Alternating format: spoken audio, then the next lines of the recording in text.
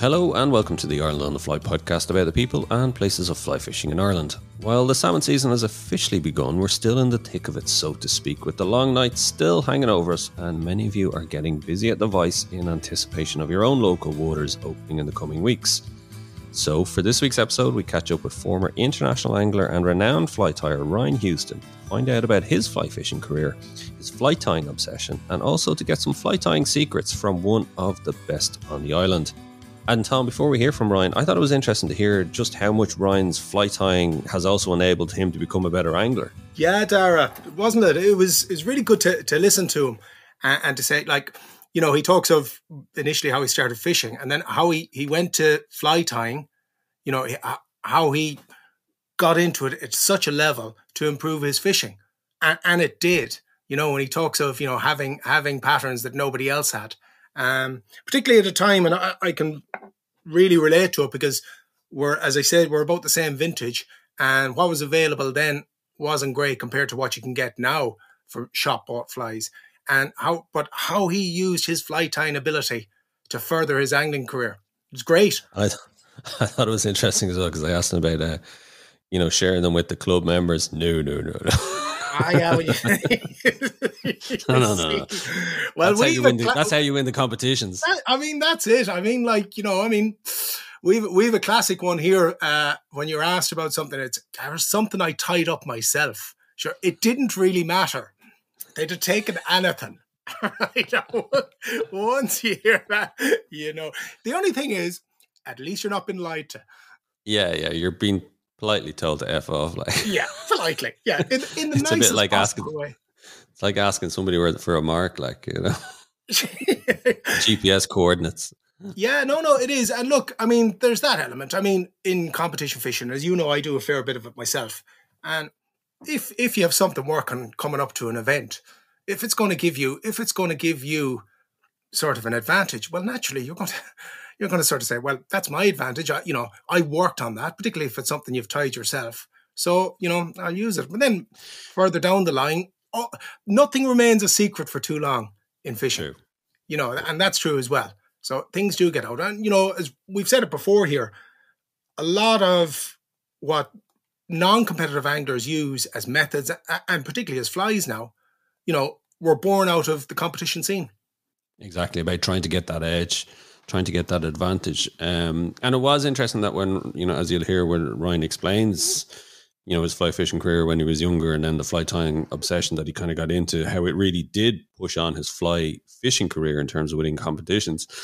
And now he's kind of at the stage, like he says, with the kids, family, it's now more more fly tying, less fly fishing. Yeah. And it's actually for him about the challenge of the fly tying now.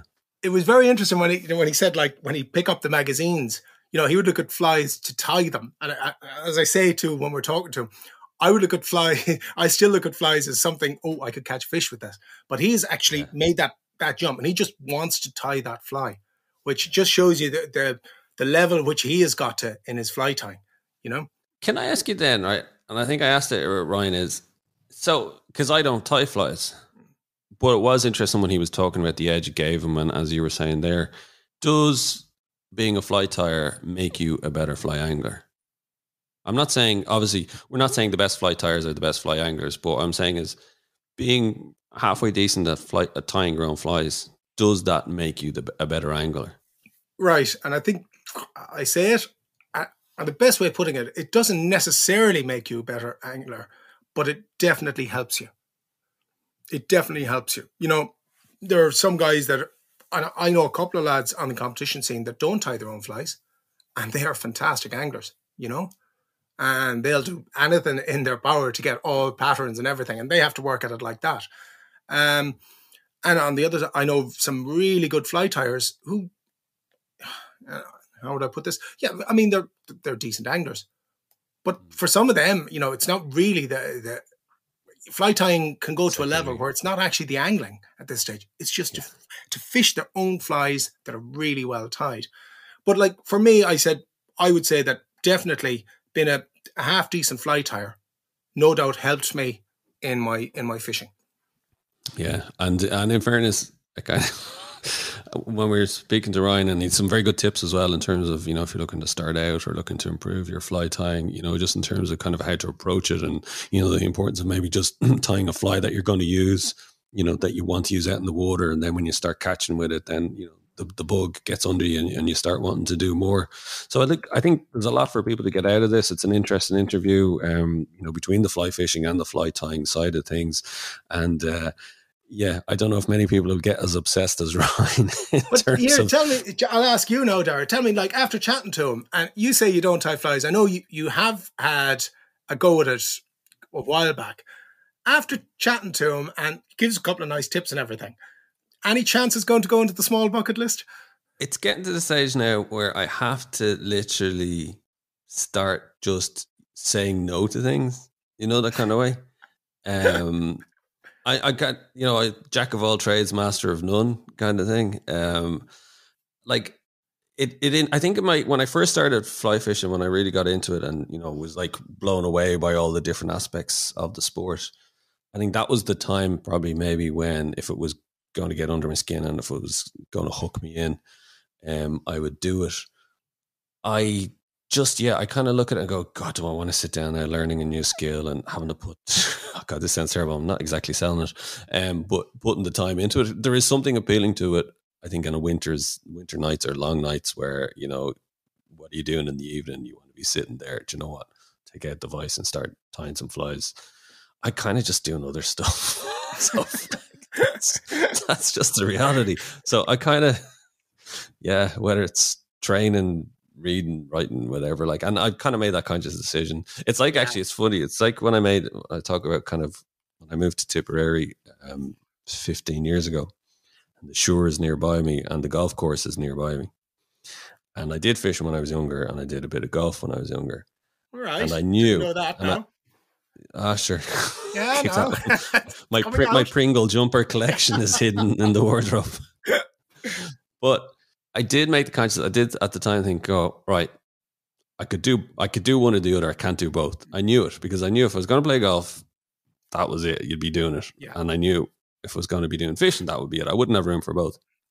And that's why I just made a conscious decision. No, and I like I still drive by the golf course every day, like you know, heading in into Cahir. Like so, it's and yeah, half of me hankers going, God, I'd love to be out, you know, hitting a few balls down there, and it looks brilliant. And then you kind of go, "Do you know what? There's only so many things you can do in this lifetime, so you know, just focus on it. So yeah, I don't know. I think the fly tying boat has left me for this stage. Is my long-winded way of saying, don't think so. No. I could have just said no. yeah, Would you could like. Well, I'll tell you what, let's hear from Ryan Houston now and an actual fly tyer. Um, and I first asked him about how he got into fly tying in the first place. I started fairly young. I was probably in primary six whenever I started, and uh, just started fly fishing. My dad took me uh, one week on the River Lagan uh, at Marlin, and the next week my uncle came around and gave me one lesson in fly tying. Basically, how you put a hook in a vise, how you attach the thread, how you basically tie in materials, and then that was it. From then, it was just something. I think with fly tying, you either get it or you don't, and it sort of clicked with me and. I sort of spent all my time up. My dad actually converted the roof space, so I'd be going up there and uh, basically spending every minute that I got sort of working out how to how to tie flies myself. I had a, an old John Veniard book, which I sort of mulled over as well, and it actually fell to pieces. Uh, the whole backing and all come off it, but just I would I would sort of get myself into that, and, and from there I sort of just, I taught myself, I suppose, essentially. Was it initially trout flies? Were you fishing for Uh, trout? Or? Yeah, it was all trout, uh, brown trout on the River Lagan. Right. Uh, So- So, were you, as a kid and teenager growing up, that's that was your thing? You'd love to, obviously, love to be fishing, but when you couldn't be fishing, you'd just disappear up there and just be. Oh, well, I working suppose, uh, yeah, well, winter time was for tying flies, you know, for the rest of the season. But during the season, then it was tying flies because you were going fishing the next day or because you were going fishing that weekend. So it was kind of, I suppose, initially out of necessity.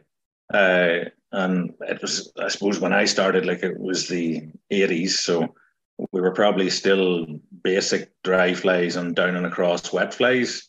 Uh, but I think what drove me was uh, we had, in the club that I was in, we had quite an active competition scene. And as I come up through the junior ranks from that there, I would be going out fishing and then trying to go back to the vice and work out what would have you know worked better for me. And I think what happened was water quality around about then I think started to go downhill and the fish maybe weren't so much up because a lot of it our fishing then was predominantly dry fly. And then I worked out how to nymph and nymph under indicators and stuff like that. So whenever I was that would have probably been whenever I was maybe from 15, 16, 17.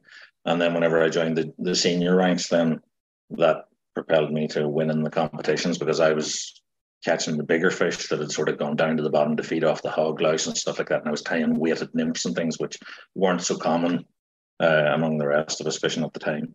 That's the advantage of actually, and I've always said it, being able to tie your own flies. Yeah. Because yeah. Uh, particularly at that time, a lot of those patterns weren't readily available, were they, Ryan? No.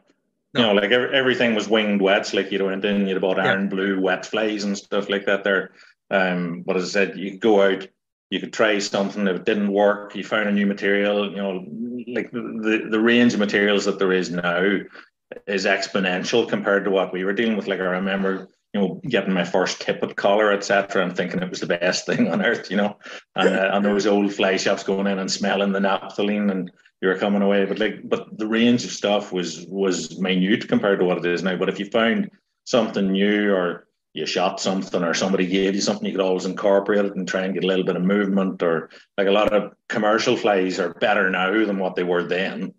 But like a lot of them then were brutal and they were so heavily dressed, you know, that they were next to useless. there just were more fish about, pro- probably, but being able to put less turns on something, a bit more movement in it, add little hot spots or a bit of ribbon or a little bit of weight or something, I think that helped with my success in the competition, fishing the local competitions that we were fishing then. So that was that drove my my tie-in, I think. Uh, and then whenever I first came of age, I suppose, uh, and came into the senior ranks. Then I won uh, our annual league that year, and that allowed me then to qualify to fish the Ulster qualifiers, etc. And I went on in that next year to uh, qualify for Ulster. Then I won the national rivers championship, and that got me to fish the home internationals for Ireland. So that, but that I think was on the back of my flight time I was just going to say that that that wouldn't have happened. Uh, well, it'd have been a lot harder for you to have done it if you weren't tying your own flies. Yeah, definitely. Yeah. So then when, when we went to the to the competition, you know, like I would be, I brought my stuff with me, and people would, you know, the guys would come in after the day's practice and say, "Can you copy this?" or so on, and hmm. because I could, I could. So, did you find that as well? Like even from a younger age, Ryan, fellas in the club were asking for you to tie flies for them. No. Okay. no, I suppose wow. that I did. I didn't really offer it. I suppose because like you know you were trying to keep Good you man. were trying to keep it secret. This is working. I'm not going to give it to everybody. Hence you know. why you won the championships. yeah. So uh, so yeah, uh, down the line, you know, it would filter through a little bit. But no, I think people were they were quite. Uh, how would you say it? They weren't overly open. You know, like if they were catching on something, they would lie to you. You know, what what are you catching on? And they'd say a wee beauty would be the answer to it. Like so, so you kind of learn yourself then to not give too much away. So uh, I guess joys I the competition scene. Yeah, well, I've seen guys have arguments over you know the number of turns of rib that there need to be on things, and it, it's it's ridiculous. you know. I say the one thing, like as I said, not being a fly tyer, but Tom speaking to you and and Ryan even hearing you there speak is you you become a better fly angler, don't you, when you're tying because it's forcing you to think about yeah. how to solve problems and how to you know catch those fish that you were missing before. Mm. You know, so you're much more. It makes you think a lot more. I think.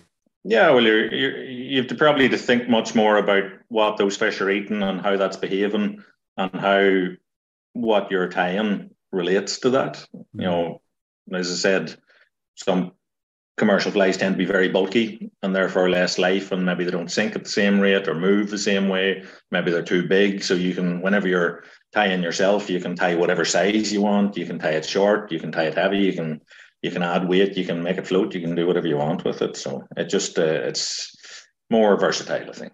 Yeah you'd be the same time wouldn't you? Like from your own perspective with the the lakes fishing like. Oh, completely, completely. Although I have to say, and you probably agree with me there, right? Like, because we're more or less the same vintage. Uh, if we compare, if we compare the commercial flies that were available in the 80s to what's available now, they've improved yeah. vastly. They yeah. really have. I mean, there's yeah. nothing compared. Like I remember you used to get lake flies, and like you'd been talking about the river flies there. We used to get lake flies, and they were they were atrocious. Some of them, and, and and and to boot, they had really bad hooks. So yeah, well that that is the that is the biggest thing I think that even now, the commercial flies they can still be on dubious hooks, but I think the the quality of what's coming out, the dressings has definitely vastly vastly improved. But the, but you can still get them on dubious bits of lead wire. So yes, yeah, yeah. But I get the sense that you're right is that you were get you got that balance right. Like the fly, tying of flies was a means to an end, as in winning competitions. yeah. Know. Well, early when, when I had the time to fish, I suppose is my point. Like when when I was younger, like I'd have been on the river uh, maybe four or five days out of seven. You would have been there. Certainly during the summer, I'd have been there most nights. It was within distance that I could have went down on the bike or I'd have got a lift down to it. Um, and certainly, I think whenever you're practicing or trying to fish for you know internationals, etc., like that, there the practice really does make a difference. You know that you have to you have to be there. It's the same as course anglers. You know, like they're going out and if, if they're practicing all the time, it's an extra one or two fish, but at the end of the day, that makes a difference to them. And I think with with uh, certainly the catch and release type competitions with the numbers that you have to catch, that that practice needs to be there. And for me, the time was available when I was younger, but then whenever I got my A levels, etc., and moved on, the time sort of moved away. So I qualified twice to fish for Ireland, and then after that, just whenever I went to university, I didn't have the time, so probably I moved more towards uh, fly tying, and I probably moved a lot away from the trout end of things, and I moved towards concentrating what time I had on fishing for salmon. So it was a total change. I, I did it, and I quit. and what, what, what was the thinking or the reason for moving to the salmon? Was it location? Uh, well, well, I suppose well, I, I went to college in Dublin. I did take a rod with me, and I fished the Dodder a bit when I was down there. Um, but then I I didn't ever buy a ticket. I didn't realize that it was a club. it's a long enough river. You be all right. They're looking, no, they're looking for you. So, uh, but I suppose when I was coming back, you know, I was only got the weekends whenever I was coming back. So, uh, and, and I was working as well, you know, make money to pay for beer. And essentially, when it rained, I went fishing for salmon and trout. Uh, I, I large I, I, sort of moved away from it a bit. I suppose. I suppose the the competition fishing was was a draw in itself. You know, it's it's like a how would you put it? It's like a fix. But when it's not there, maybe it just didn't drive me as much, and maybe you know the salmon they were like you know, and salmon do strange things to, to people. You know, it's the way they behave for them. So I think uh, you start off your when you're fishing for them, and it's it's almost like a drug. So I, I caught the salmon bug and I moved to them largely, and then when it was dry, I went out still fishing for trout, but uh, largely salmon then from them. And then, here. How did you find then the crossover to starting to tie salmon flies? was it nice and easy for you, or how were your first attempts? Well, the first attempt at a salmon fly, I suppose I'd have been again looking at like the Veniards guys and stuff that, and, and you're sort of looking at these classic flies, and I, I hadn't read too much about fishing for them, etc., and what flies you should use. So I was kind of thinking those were the things that I should be tying, and I didn't have all the materials for them, so I was making these sort of abominations of things. Uh, and then we actually went. Well, the first salmon I got, I think I was like probably thirteen or so. Uh, I got that on the cathedral stretch on a spinner, but then we went to Easky uh, Fortland, and at the time you could fish it relatively cheaply. And we went there for a for a school trip, and uh, somebody said a Bann special is the fly to fish. So somebody described to me what a Bann special was, but really badly. so I, I I I can copy what someone tells me, or I can copy a fly. That that's something I can do. But if someone gives you the wrong recipe, so I turned up with these Bann specials, which are no more like a Bann special, but they caught salmon. Like I, I caught a fish, and you know, like half an hour after starting, I actually think we got three or something that day. Uh, but it was on a fly that's no more like a Bann special. But it is a fly that subsequently ended up with a place in the box because it was the first, and and I did catch more salmon after it. I was just going to ask you, do you still have the Houston Bann special? yeah, I, yeah. I don't think I don't even think it has a name at this stage, but like it, it had a fluorescent orange rear body made out of floss. So instead of being you know your black and your yellow seals fur, and the hackles were the hackles were grizzle instead of being badger. Like so, it was a completely different fly, but it caught it caught salmon. Of course, yeah. So I yeah, mo- moving over to that, I think was it was straightforward enough. What was it dressed on? Did you dress it on a, a single, treble. double, or a treble? No, Esmond Drury trebles. Uh, Tetley tea bag makers out of your fingers. Yeah. So. How did you find that? That's one thing. Like, because I'm primarily a trout, always have been trout fly tyer, and yeah. anytime I've tried, I I just I can't hack tying on a treble hook. I, I just I just rip the top off my fingers. Well, you, instead, a lot of people struggle because you're plinking the the mm. uh, thread on the hook points the whole time. So instead of wrapping straight like that, you have to do you have to work out this strange it's not even a figure of eight because there's three hooks. So it's it's like a it's like a weird triple of eight uh, thing. So it's it's getting, but then that depends on whether you want to get it back. But everybody's style is different. Like I probably tie quite full on the shanks. Like some people tie salmon flies you may have seen quite short, and they would actually start mm. the body a hell of a lot further up. But so you tie your fly smaller on a given size hook. So you may be using a size ten hook, but tying a size 12 fly, which you can do with trout flies, etc. Anyway, then you get the extra gape and you get the extra weight of your hook, and therefore your fly reacts slightly different in the water. Actually, yeah, but that's probably a good tip for anybody who's starting off on the trebles first, just to, to, to use forward. yeah to use that. Let's say um, use a size 10 hook for your size 12s, and just yeah. so you get used to it, and then unlike me because I, I packed it in after that. My fingers said to me, "No, just well, stop. isn't it? It's it's not too bad on once you get to like size tens and above, you're all right. Fourteens are just like even now, like I, I'll bleed most nights sometimes, flies, you know, because because without thinking about it, you turn around or you're using a you know a needle or something like that, and you'll stab yourself or stab yourself with the hook easy. So so when you turn to salmon, is has salmon um, fishing and um, salmon fly tying that's been your your bag ever since then, Ryan? Has it? Like? I I sort of how would how would you put it? I like to be able to tie everything. So uh, if I seen you know magazines, they're not what they used to be now. They've taken a massive downturn lately. I suppose they're disappearing. But like those glossy trout and salmons and trout fishermans or stuff like that. There, you know, I, I always love getting them. I'd look at a fly in it and go, I want to be able to tie that. And it doesn't matter what it is. I would, I would go look at the picture, work out how to do it, buy the materials to do it. So I, I kind of flipped from one thing to another. But I, I, I like to be able to tie absolutely everything. So I'm more probably driven by fly tying now than fishing.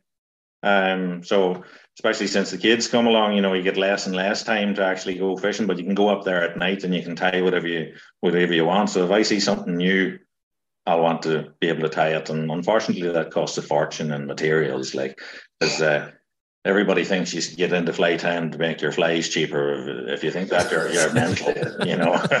uh, the only way that possibly works is if you actually fish with maybe two patterns and just buy the materials to tie those and tie nothing but them. But if you go anything beyond that, then it's just a it's a weird collecting fetish. Yeah, but it re- uh, shows their fly tying bug that you have. That when you look at a fly, like whereas when I used to pick up the magazines, I would look at I would look at a fly and I go, I'll tie that because I want to catch it. Mm-hmm. But you look at a fly, you go, I'll tie that because I want, to, tie, it. it. Yeah. yeah.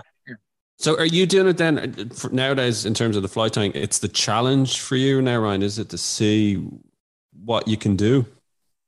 Yeah, to an extent, like I suppose once around about the time that I did the competition fishing, I I did enter a couple of uh, meal, not meal order meal, uh, meal in fly competitions, and I wanted to do that because I knew I was all right, but I wanted to see how all right I was. So I started entering fly competitions and I started winning them. And that again was like a new bug to me, you know, to to push you on.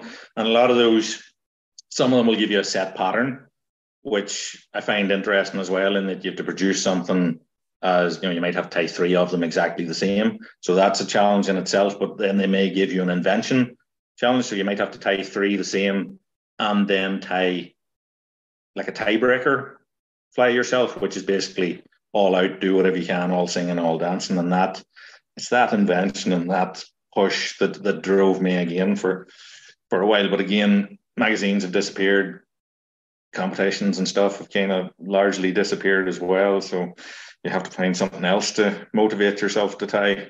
So uh, I remember those competitions. It was was a fly fishing and fly tying. Yeah, fly fishing and fly fishing and fly tying started it. Won, I remember you won one of those, didn't you? I won the first one of those that I entered. Yeah, I remember. I remember you winning this. Yeah, I remember that. And yeah. then uh, there was the Irish Open. Then I think there was two years of it, and then there was Mustad Scandinavian Open that used to run. I don't. I don't. Does it run again? I don't know. I, I couldn't. I couldn't tell you.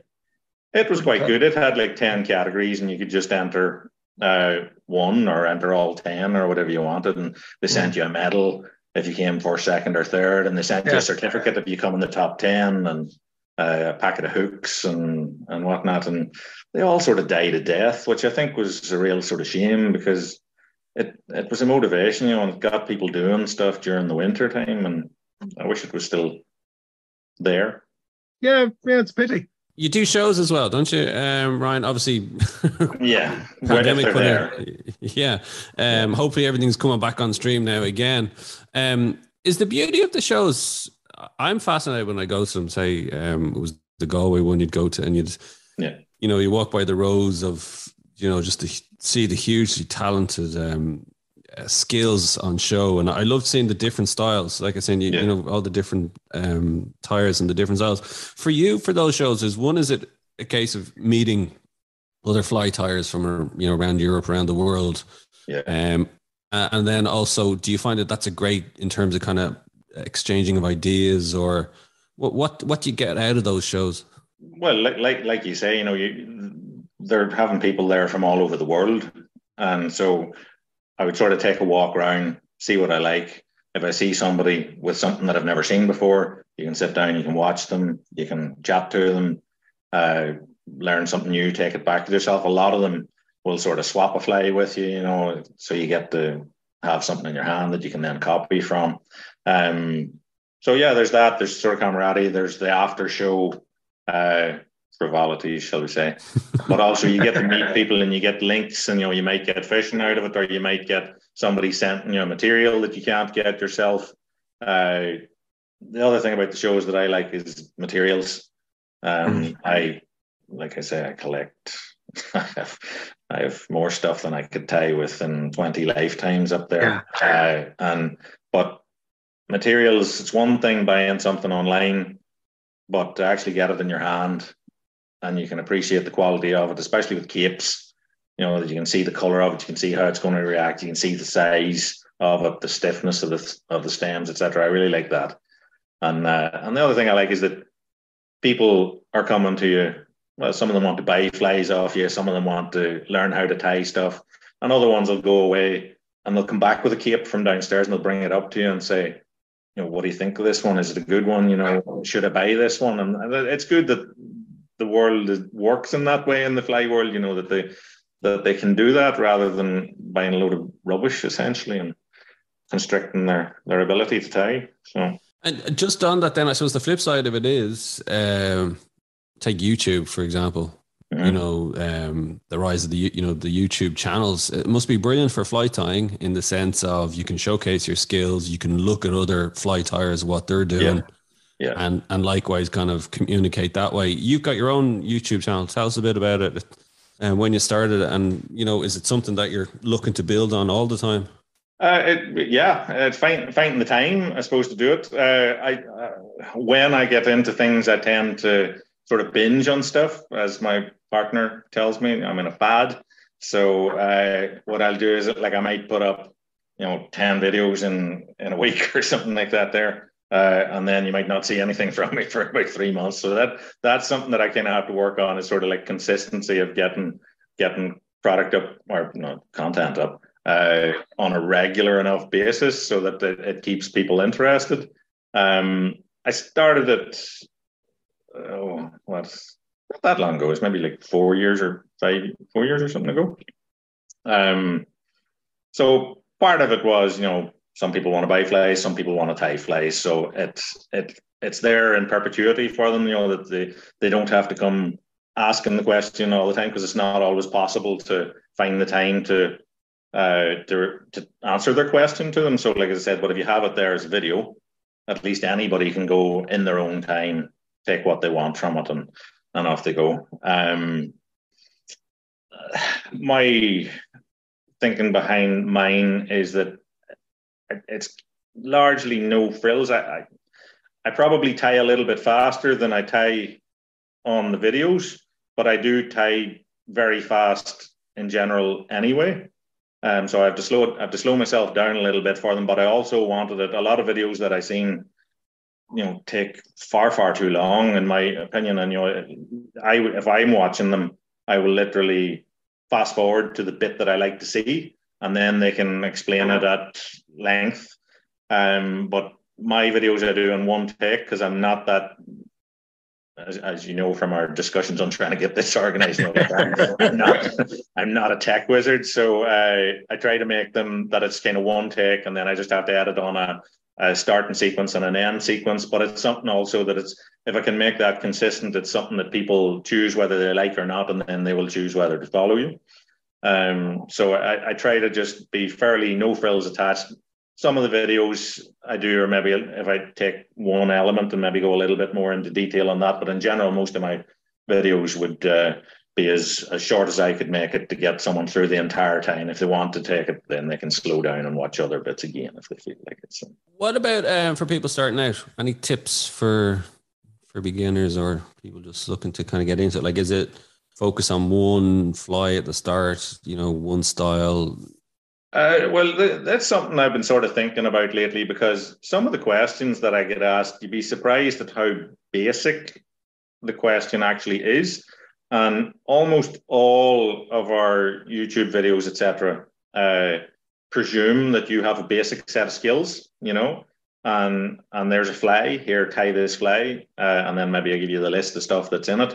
But I get people, especially even at shows, you know, people come up and and they want to know how to actually attach the thread to the hook in the first place. They want to know how to, uh, you know, finish the fly off, how to actually dub stuff, you know, dub, put dubbing on on a thread. So I've kind of been thinking that at some point I'm going to try and do a really really basic uh, set of individual broke down videos on something like that because that is something I think that that people are actually wanting.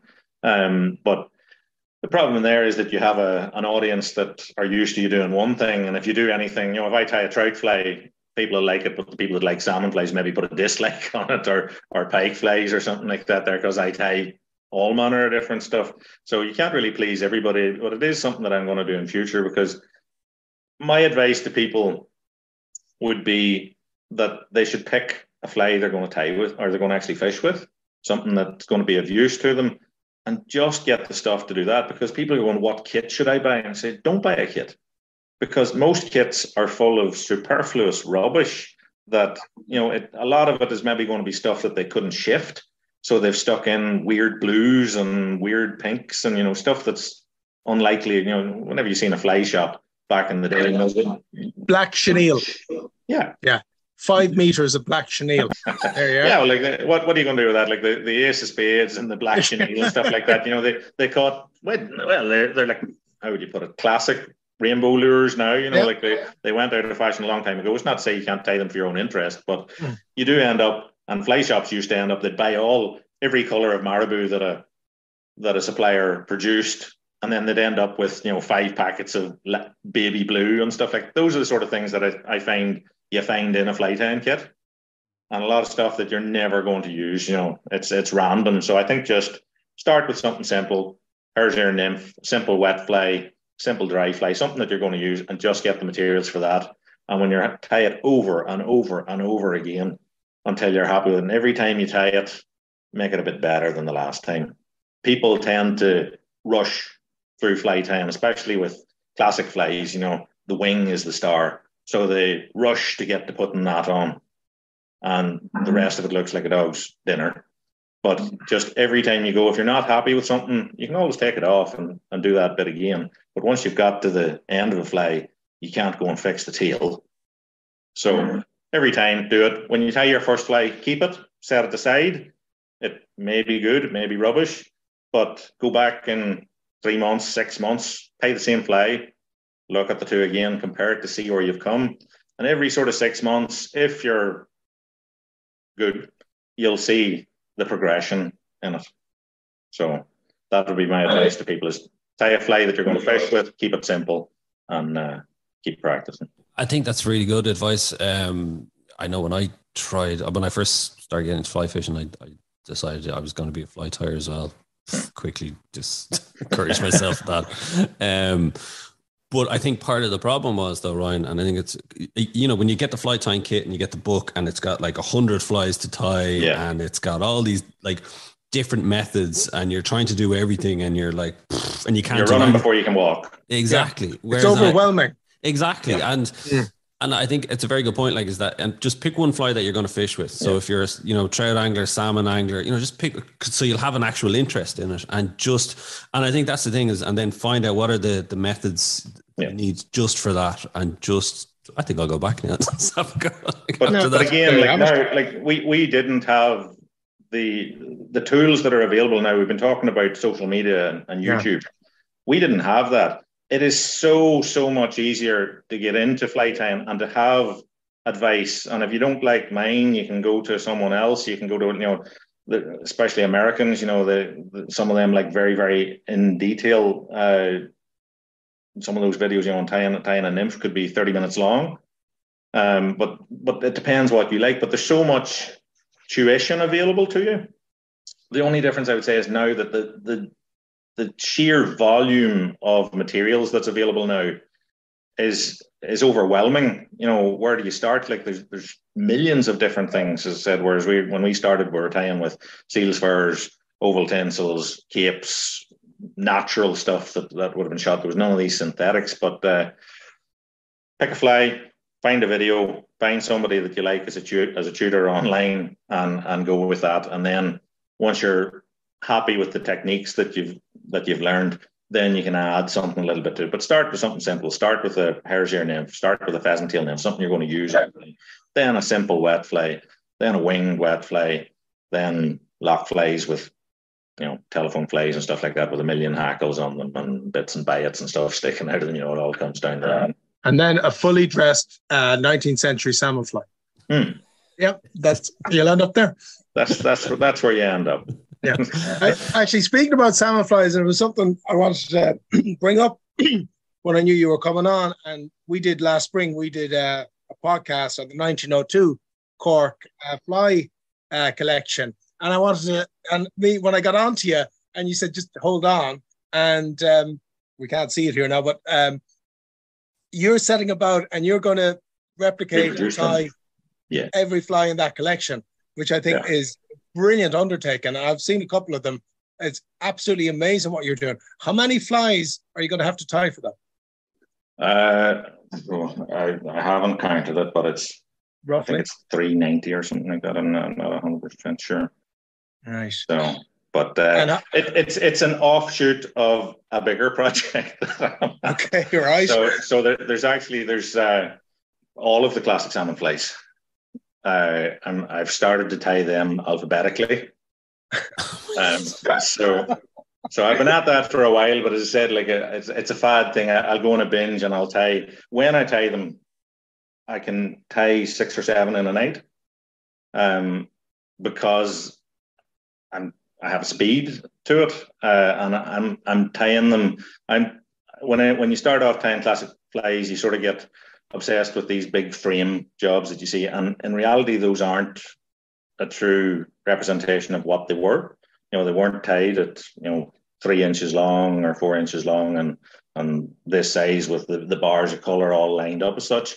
So in my progression through tying them, I sort of have tried to replicate maybe an older, more fishing style to them. Um, so I started off there was a couple of books come out, you know, with the list of supposedly all the known ones. Then another book would come out. You know, there's a book come out and it was like 1,700 patterns, and I thought, well, that's a lot, but I'll have a go at it. And then another book comes out, and another book, and then we've got three and a half thousand of them that are known now. In the uh, there's a classic fly compendium, which is them all listed uh, alphabetically, and you know there might be there might be ten variations of an Akroyd, say, you know, by different tyers of the day or different uh, houses that were that were making them commercially. So I started into that, but you know, it's A, B, C, D. I'm somewhere in the black at the minute. I think I am.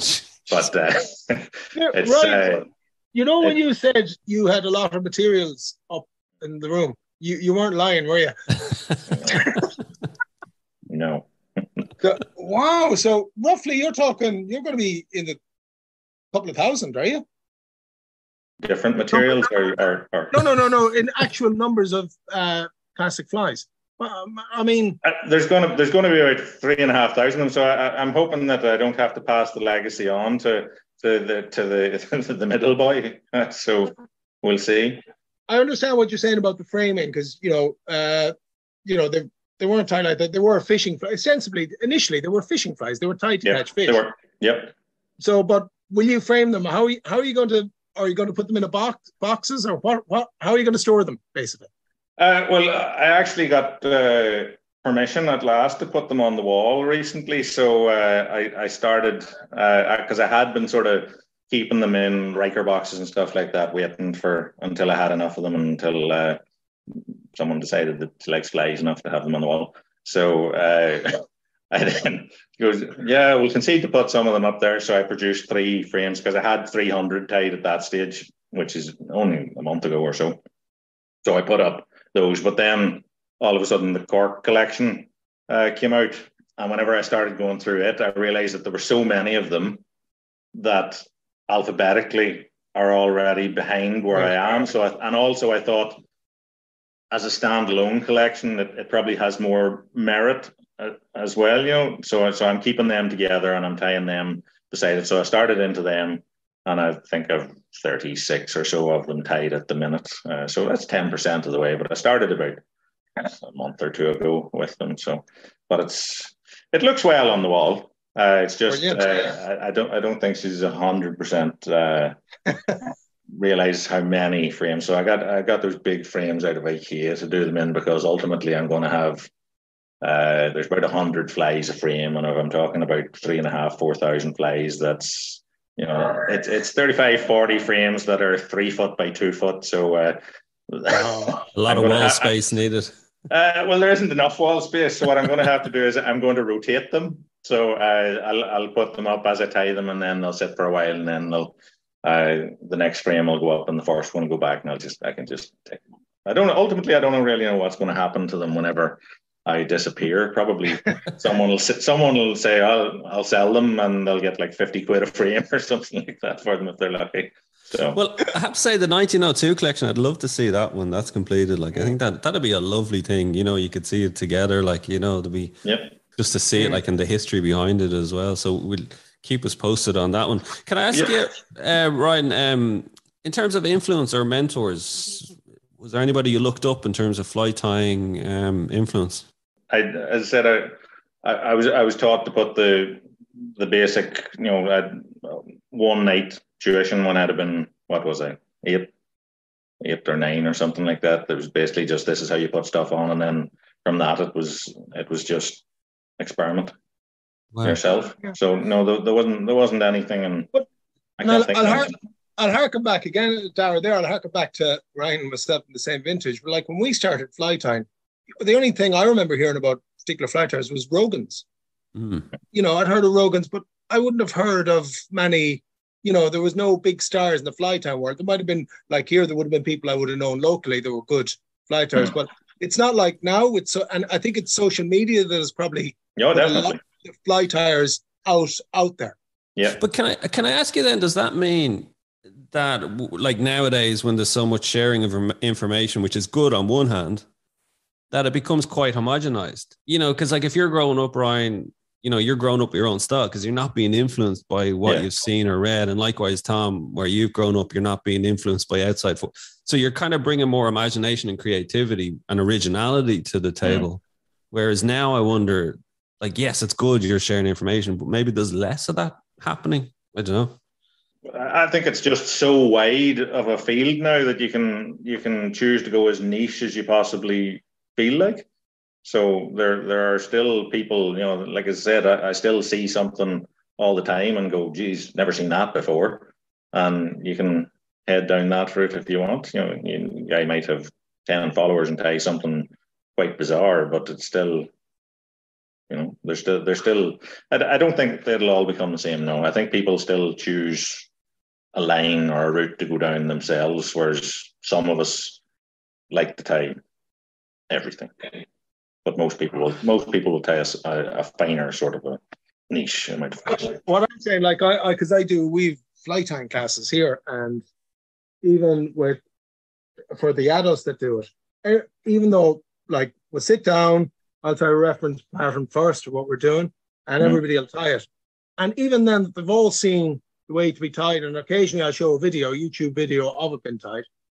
All the patterns will be slightly different. Mm, Yeah. mm.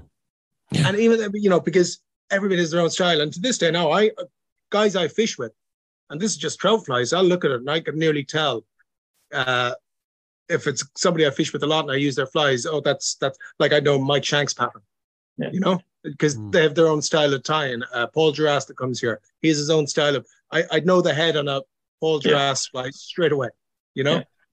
And would, would you would you fish with someone else's fly? if it catches fish i'll fish with it Yeah. that's I, the way I, I are you oh you'll only fish with your own will you uh, yeah Lar- large, yeah. You know, it's very. I would say in my life, very, very, very rare that I've ever tied on. Like I, I can appreciate someone else's, but it's there's just something about it. It's that it's maybe the connection to it or something. But but no, I I I find it very difficult uh, to do that. I, I'll generally fish something I've tied myself. I may keep it in the box and copy it, but then whenever I've tied it, I'm happy. You know, I, I don't know what it is. There's something. There's something something there in my head with that one. You know, I, I, I will almost only fish with something I've tied myself. What's your favorite fly to tie Favorite fly to tie? Probably a classic fly. I, I like tying a, a fly called the flood tide. It, you know, whenever I look at classic flies, I don't look at most of them. I don't see their connection to catching a fish with them. They they seem sterile. You know, it, it's hard to see.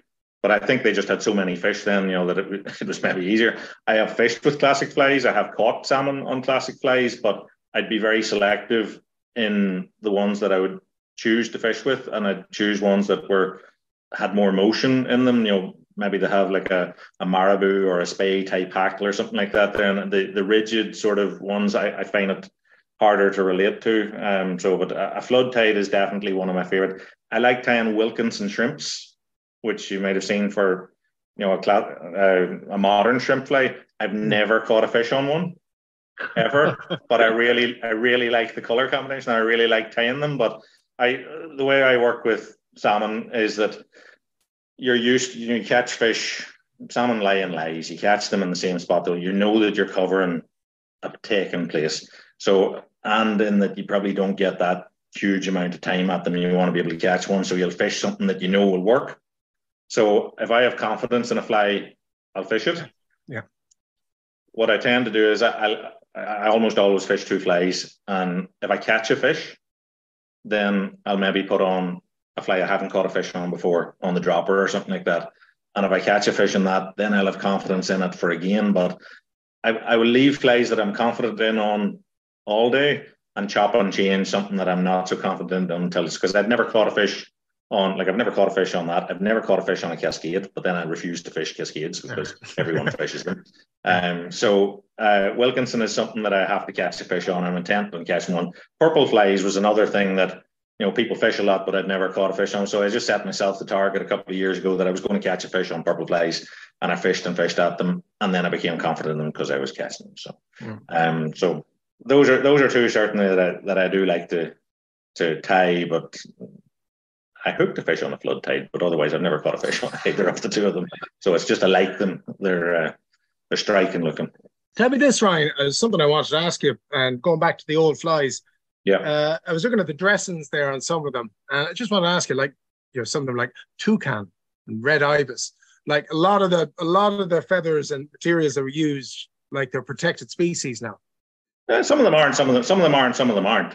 Uh, Yeah. so, so some of them are not necessarily protected, but just you can't go into areas where the FARC guerrillas control in Colombia and just run around with an air rifle, you know. So so they can't get them out, or maybe they're they're not protected, but they may have bans on exporting them, etc. So yes, the price of them has gone ridiculous. Um, some of those things you're talking about, like those tiny little feathers, are ten and fifteen pounds of feather, uh, and you're putting them into a fly that requires two, three, four of them. You know, you can run into fairly hefty cost to actually tie a fly.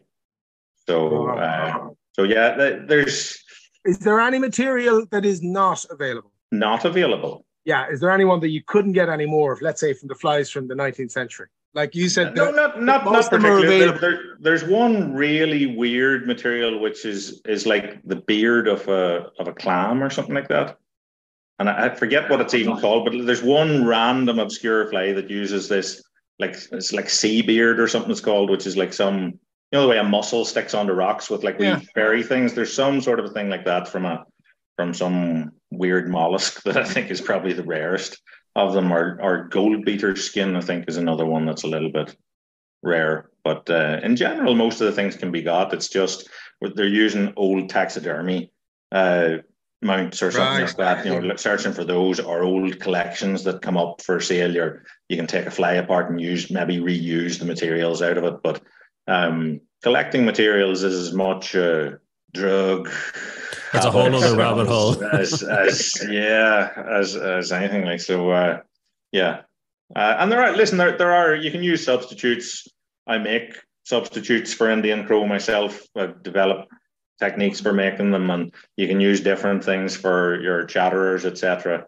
Uh, and the Kori bustard, you know, you, you probably heard that you know bustards are well protected anyway, uh, but some of the I think the San Diego Zoo started a program whereby they would collect all the feathers that fell out of the ones that were breeding, and they gave them to uh, the classic fly community over there, and they distributed them because if you reduce, if you remove the price of them, then there's no demand. pressure on someone to go and shoot the things.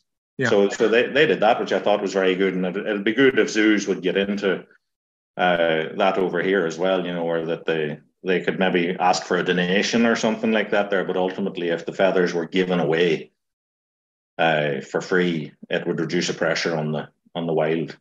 Yeah, great idea. Um, Ryan, final question. It's Mm. been uh, fascinating chatting to you. Um, and you know, really hearing about, I suppose, the kind of initial parallel between your fly fishing career and the fly tying, and now it's it's come around to fly tying, Fly tying, yeah. ma- mainly like. Uh, maybe um, when I retire, when I retire, yeah, will fly tying. when the kids have left. but tell me this: um, most memorable fish caught in the fly. What is it? I had to think about that, and there was a few came to mind. Like there was, there's a salmon I caught in the River Tempo, which is a tribute to the Erne, and uh, I caught it by mistake. But there hadn't been one seen essentially since the dam went up. Uh, Shannon, it was just random. I caught it on a, on a trout streamer, and then the first one that my son landed, I hooked and handed to him. But the one that is probably most memorable is uh, my dad got me into fishing uh, when I was young, but he died when I was young as well. And I was left with his rods. And I know that he hooked a couple of salmon fishing uh, Lough Melvin and I think one on Lough Conn and lost both of them. Was, remember back then, whenever they were fishing with lough rods, they were 11, I think it's 11 foot three for like a seven weight, but it literally you can bend it right round till, till the, the butt touches the tip.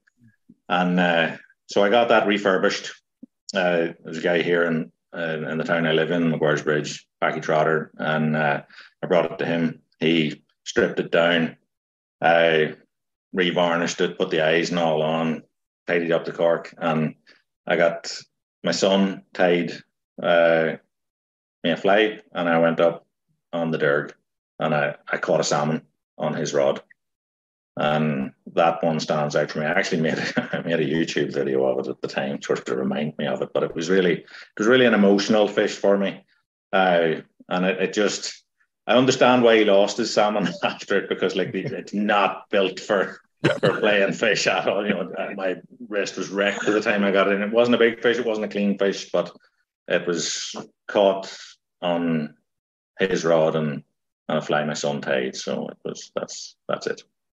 Beautiful. Um, and the importance of generations when it comes to fly fishing as well, isn't it? Like handed down to the generations as well. Um, Ryan, before we let you go, what's the YouTube um, channel, the handle for if people want to check out your fly tying videos? It's just my name, if you look for my name and fly tying, it'll it'll it should come. Up. Brilliant, and there's there's lots of great videos there for people to uh, to watch and learn from. Uh, I'm not sure how many's there at the minute. There might be five or six hundred on it at this stage. So it uh, it's it sort of just grows, ticks itself over. At, at, some point, I'm hoping it sort of hits a critical mass and uh, and produces you know like hundred thousand followers, and I can quit work. But uh, at the at the minute, at the minute, no, it, it, it it's it's just taking over. I think we're at about six and a half, no, seven and a half thousand. Well, listen, we'll, we'll definitely recommend it um, as a channel and as a resource um, for people that want to, to learn some more from it. Ryan Houston, thanks very much for joining us. Thank you very much. Our thanks to Ryan Houston for joining us on the show. And don't forget to rate, review, and follow the Ireland on the Fly podcast on Apple, Spotify, or wherever you get your podcasts from. Plus, you can keep up to date on IrelandOnTheFly.com as well as on Instagram. And myself and Tom will be back with another episode about the people and places of fly fishing in Ireland.